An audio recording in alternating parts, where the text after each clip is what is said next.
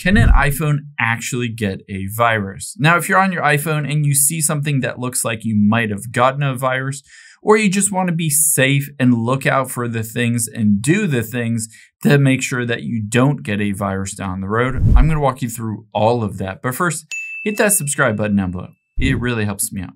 Thanks, guys. Now, you might have seen something like this when you're browsing around. It says your Apple iPhone is severely damaged by six viruses. And at the very bottom, it says something like, install this update or do this to prevent the virus. I'm going to walk you through some examples on why you shouldn't do this and some other examples on when your iPhone might be compromised. So more often than not, when you see something like this on a website, you need to completely close out of it because you don't want to click anything on here. It could actually download malware or a virus onto your iPhone. But you're also going to look out for other things as well. These are really important things to look out for that might compromise your iPhone and increase the likelihood that you do get a virus. Now, let's say you're at an airport and you plug in your phone to have it charged if it ever says trust this computer and you don't recognize what computer it's talking about, or you didn't specifically plug it into your computer, do not ever hit the trust button. That essentially allows that computer or whatever is on the other end of that cable to control your iPhone and gather data from your iPhone, potentially even installing something on there. So that's one thing to look out for, but there are other things to look out for as well. Now, if you do jailbreak your phone, most people don't jailbreak it, and there's not really much reason to do that. But if you do jailbreak it, essentially it's overriding the iOS Apple operating system and installing a different operating system on your phone. You can see here it significantly increases the risk of malware viruses by bypassing Apple's security protections. Another thing that I would highly recommend looking out for is connecting to a public Wi Fi.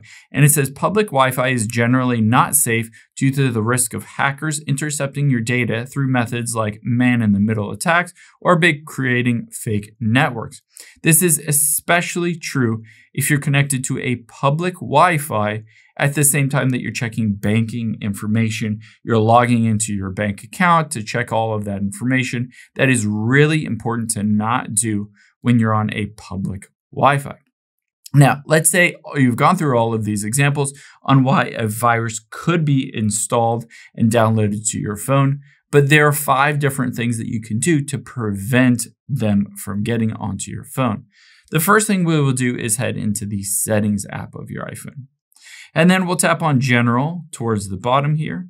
And then iPhone storage, you'll be able to see iPhone storage here. The first thing we'll look out for are apps that you don't recognize.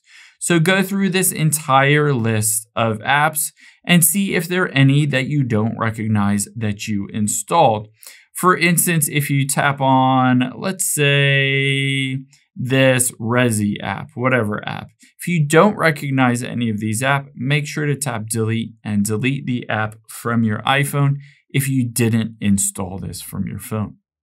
But let's also check some other things as well. Let's go back out of here and you can see software update. I would highly recommend tapping on software update and at the very top next to automatic updates, you can tap on it and make sure automatically install is turned on. A lot of times, if there are specific updates associated with viruses or protecting your phone for viruses or malware, it will automatically install those. So make sure that is turned on and your phone is fully updated.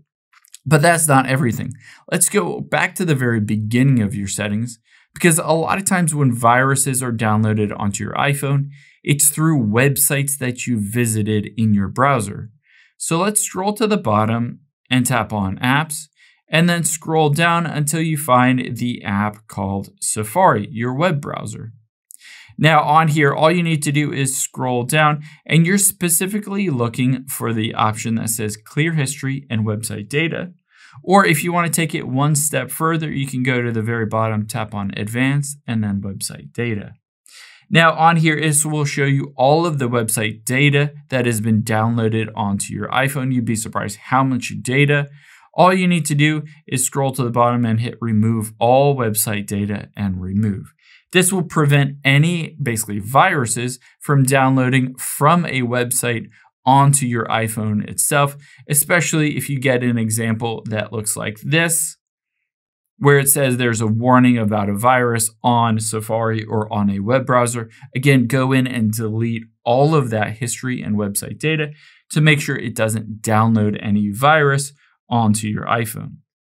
Next thing that we will do is we'll go back into the settings app of your iPhone, and it's really important to check to see if there are any configurations that were installed without your permission.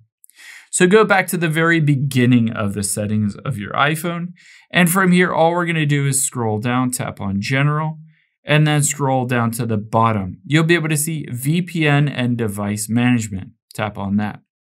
Now on here, you'll be able to see if you've installed a VPN, but also a configuration profile on here. So a lot of schools and businesses use configuration profiles legitimately but when they use those configuration profiles legitimately, they get access to your iPhone and uh, basically allow it to control your iPhone. If you have anything on here that you don't recognize, that you didn't install, your company didn't install, anything school didn't install, make sure to tap on it and delete it.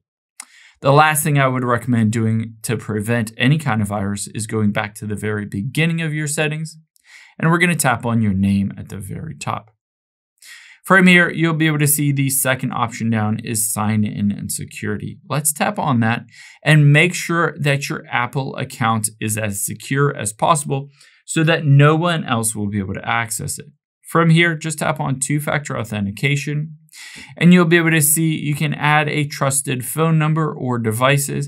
If you don't already have this turned on, just hit add a trusted phone number and then you'll enter in the passcode for your phone here. After you've done that, all you need to do is enter in that phone number. Essentially, this will help prevent anyone from gaining access to your iPhone, to your Apple account, and help prevent any viruses if they may come along.